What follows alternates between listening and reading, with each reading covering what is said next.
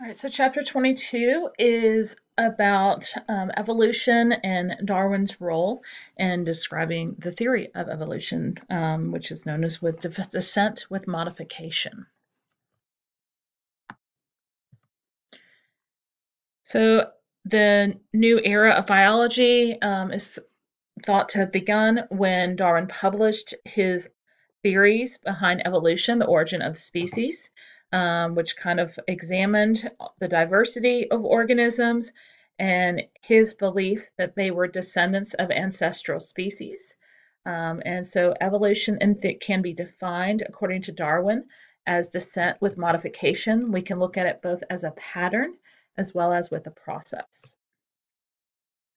Um, so his um, ideas on evolution challenged a lot of traditional views. There was a lot going on during Darwin's time about Earth and how it was inhabited by species that were not changing. Um, and we'll get into some of these um, scientists as we go throughout this presentation. So Aristotle looked at species as being fixed. I do not speak Latin. He arranged them on a scala natura, um, the Old Testament holds that species are individually designed by God and therefore perfect. Linnaeus um, looked at adaptations that organisms um, developed as evidence that create, the creator had designed the species each for a common, a specific purpose. Um, and Linnaeus, uh, furthermore, was known as um, for taxonomy, um, how we came up with our classifications of organisms and develop that binomial format, the binomial nomenclature that is used to name species. Fossils were um, being examined um, helped to provide foundation for Darwin's ideas. Um, these are often found um, in sedimentary rock, um, which will appear in what we know as layers or strata. Um, paleontology um, was the study of fossils, or is the study of fossils, and it was developed um, in large part by Georges Cuvier. Um, he um, was an advocate for catastrophism, that the boundaries that were present between um, each of the strata uh, were due to some sort of catastrophe that had happened on Earth. So there you can see the sedimentary layers, um, that the more recent layers have recent fossils, the older layers have your older dated fossils. And Lyell um, both were geologists, and they felt that changes in Earth's surfaces were due to um, slow actions that are continuing to happen today. Lyell actually um, developed a principle of uniformitarianism, that says that these mechanisms of change are constant over a period of time. And both of their ideas um, were significant influences on Darwin's thought process.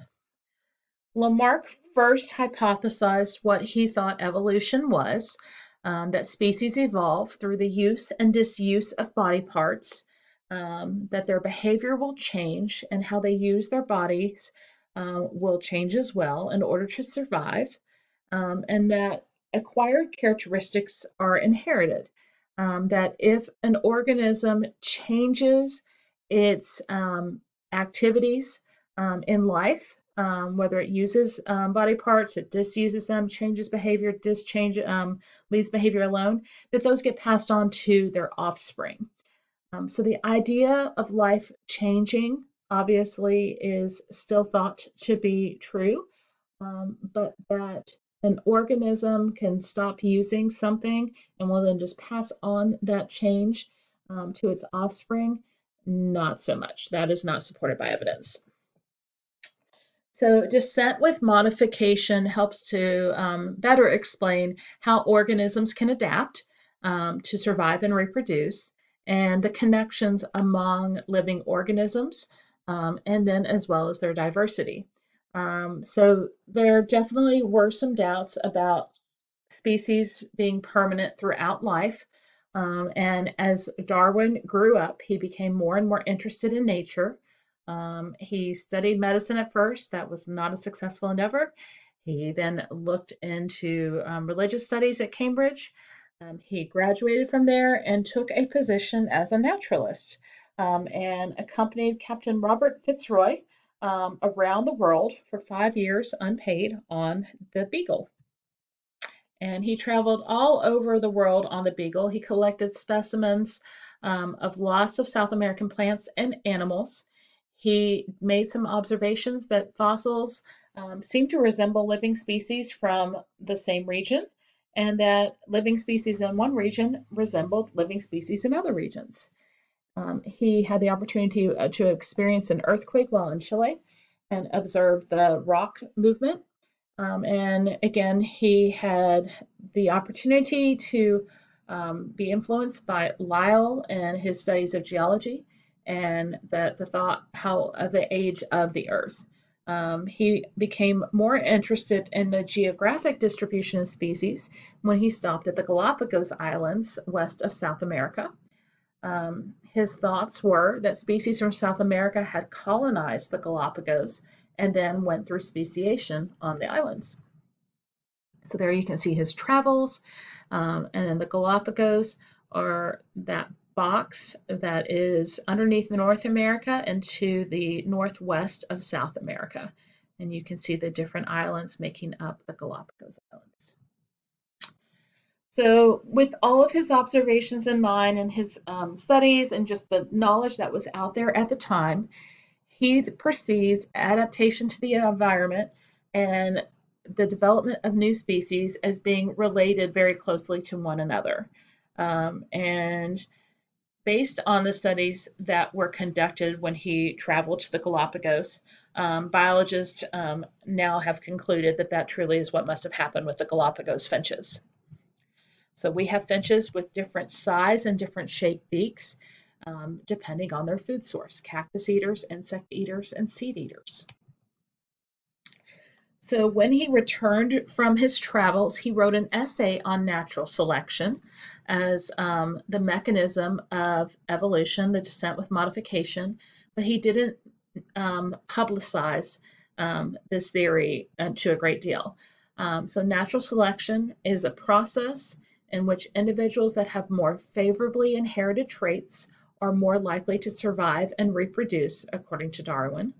And about 14 years later, he got a manuscript from another naturalist, Alfred Russel Wallace, whose natural selection theory was quite similar to Darwin. And then Darwin finally got around to publishing The Origin of Species, and his work was published pretty closely to the same time as Wallace's um, because his data um, had existed for a longer period of time. He's given credit for the idea of evolution via natural selection. So Darwin's book, um, or his manuscript on the origin of species, um, focused on three broad observations, both the unity and the diversity of life, and the connection between organisms and their environment. He did not use the word evolution when he first wrote The Origin of Species. He used the phrase descent with modification, um, that organisms are related through a common ancestor um, that lived in the remote past. And that life's history is basically a tree with lots of branches, and each of the branches are basically showing you the diversity while the tree is showing the unity. So his theory did end up meshing well with Linnaeus's hierarchy in terms of how he organized um, organisms into kingdoms and phylums, and now we have domains. So here you can kind of look at um, just a breakdown based on a timeline of similarities um, between um, organisms.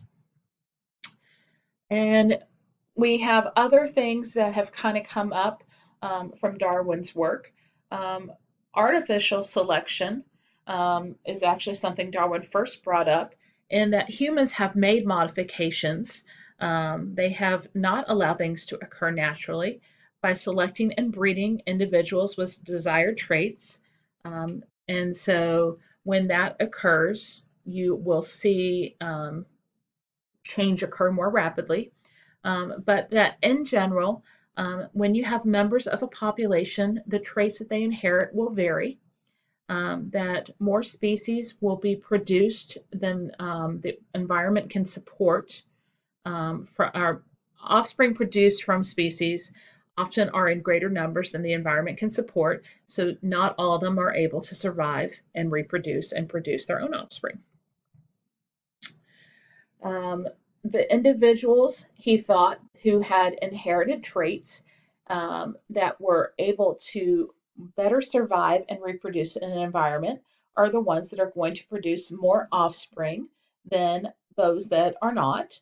And because of that difference in offspring reproduction, um, that's going to lead to an accumulation of alleles in that population over generations um, that are more of alleles that produce um, proteins that are going to provide those individual organisms within the population um, a better chance to survive and reproduce.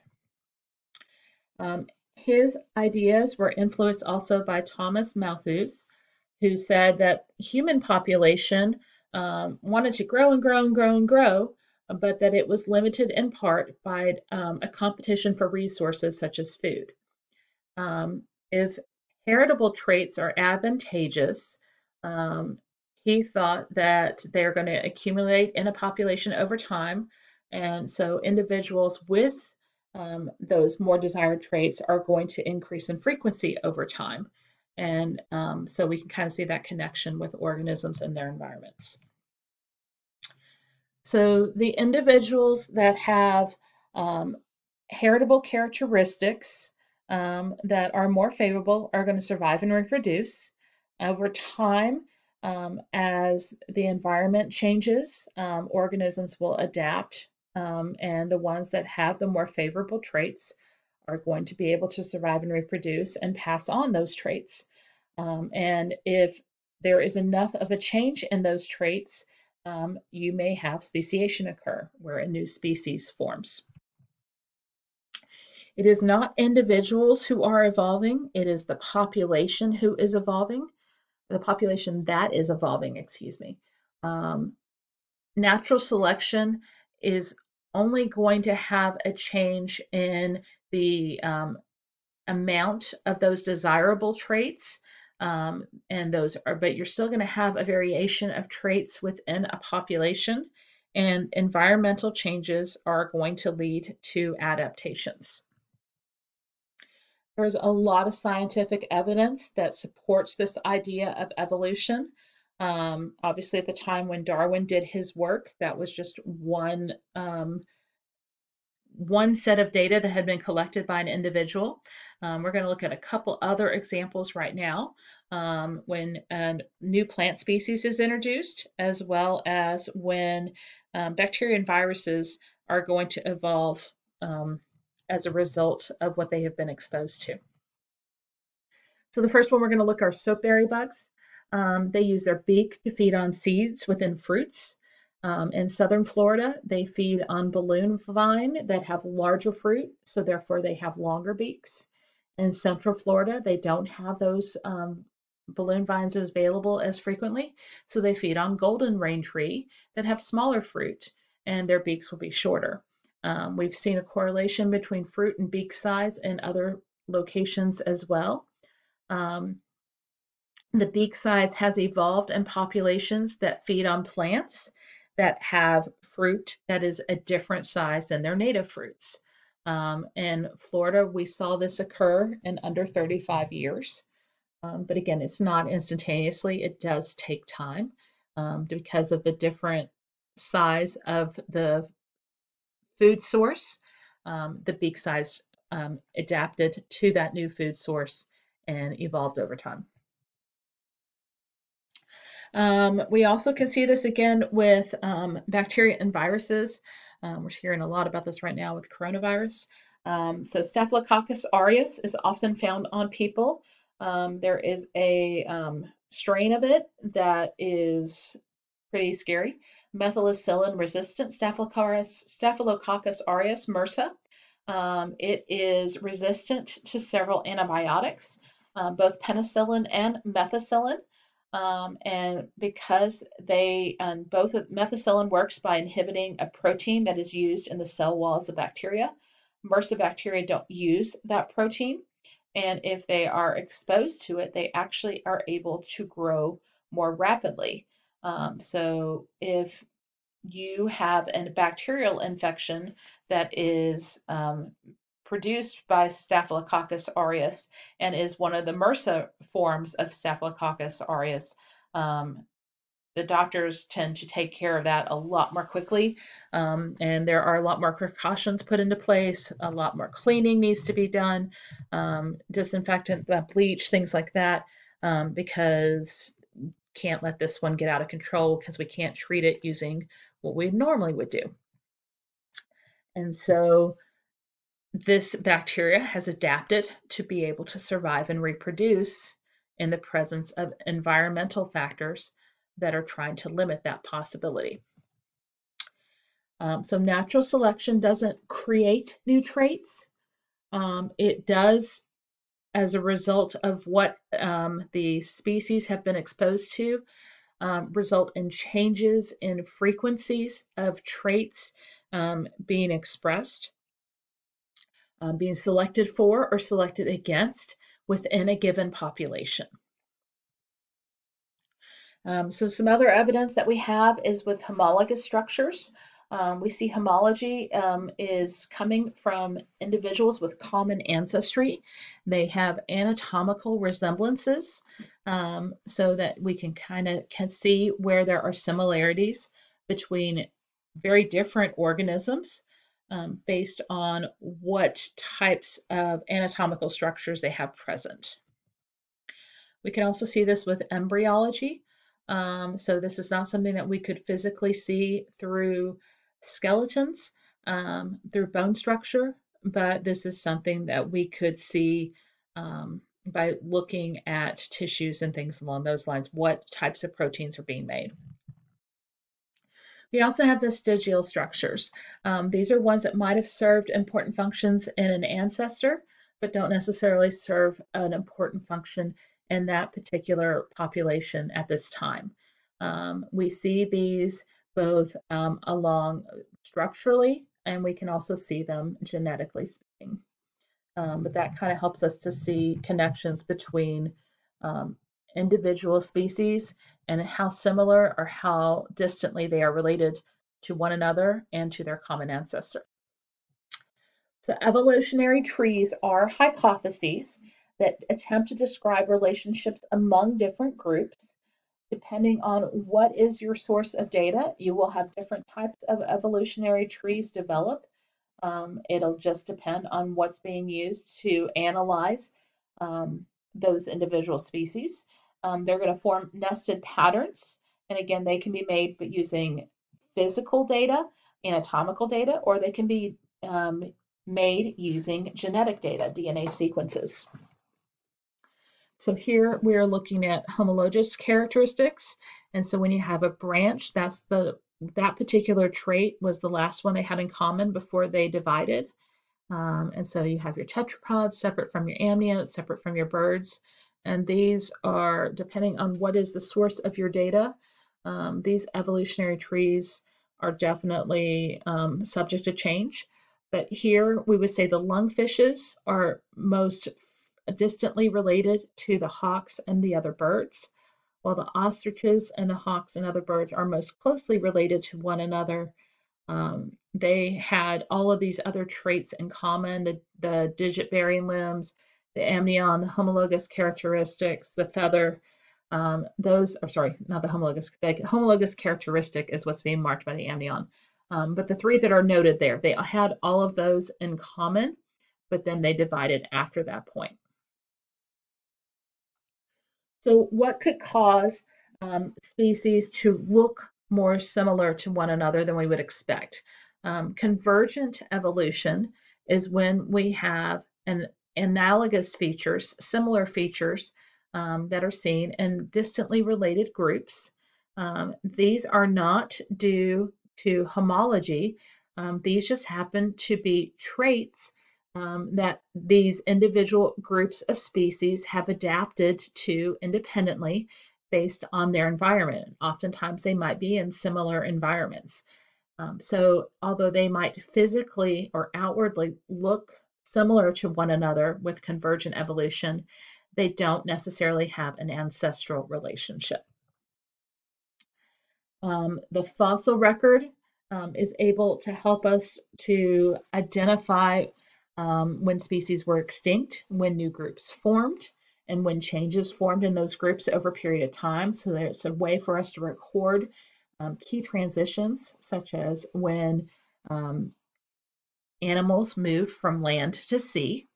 Um, so there you can see some of the bone structure. And here we have kind of another one of these um, evolutionary trees showing um, when these different species um, were able to break apart or were separated from one another. And then finally, we have biogeography. Um, this is another way that we can provide evidence of evolution, looking at the geographic distribution of species. Um, the continents on our planet were um, initially united together in Pangea, but have separated since then through continental drift when these continents moved and where the species are located gives us um, information we can use to predict um, the location and at what time different groups evolved. There are species that aren't found anywhere else, um, and those are known as endemic species. We often find those on islands.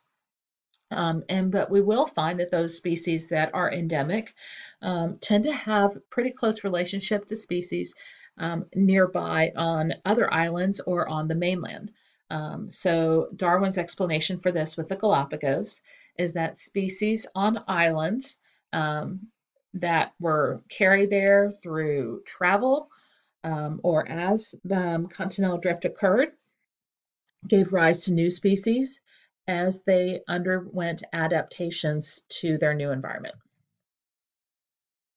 So again, theories attempt to explain and integrate a lot of data that has been collected. They are not statements of fact. Um, they are experimental, and as a result, as new information is gathered, they could be disproven. Um, Darwin's theory um, of evolution by natural selection takes a lot of different biological areas and has provided a source of a lot of questions that are still being explored. And as we are still seeing today, there is more to be done um, to better describe um, what we currently know as evolution. So, sorry. Um, so here, um, just observations. Um, individuals in a population do vary in terms of their genetic characteristics, um, and they produce more offspring than the environment can support. As a result, those that are more well suited for that environment are going to produce more offspring than other individuals. And because those alleles are the ones that are being passed on, those favorable traits are going to accumulate over time in a population.